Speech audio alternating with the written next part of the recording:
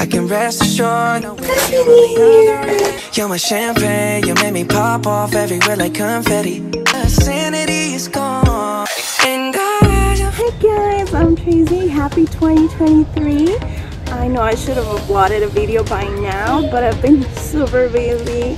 Life has changed. New year, new life, new job starting soon, which is very exciting.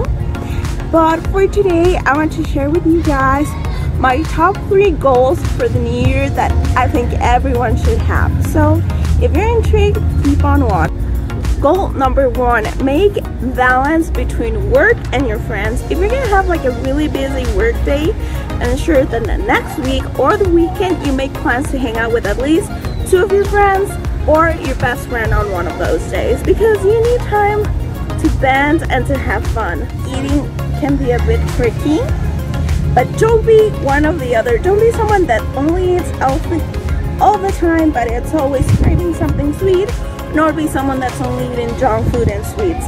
Find your balance.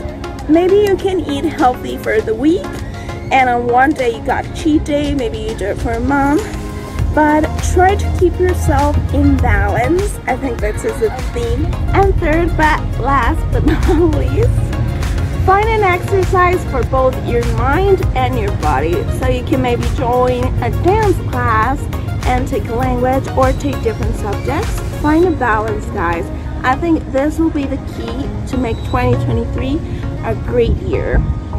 Now I'm gonna leave it here, but I'll see you guys hopefully around for my next video. Bye guys. It's chilly.